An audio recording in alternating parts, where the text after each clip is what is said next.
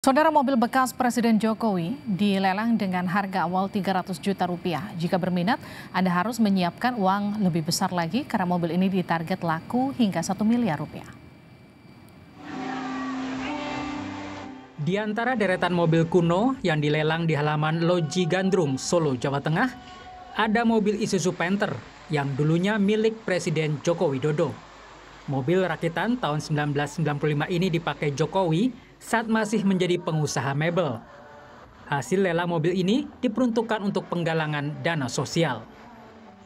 Mobil pribadi Pak Jokowi yang rencana hasil lelangnya ini mau kita buat untuk membangun tempat ibadah.